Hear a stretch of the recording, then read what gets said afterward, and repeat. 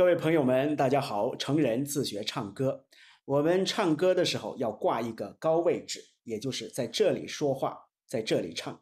我们通常啊叫做哼唱，哼中带唱，唱中带哼啊。比如说我们发从这里说话啊，啊哎咿哦呜，都在这，啊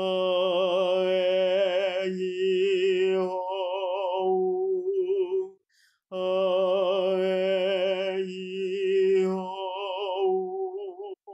世上有多美丽的花啊，全部都在这。哼中带唱，唱中带哼。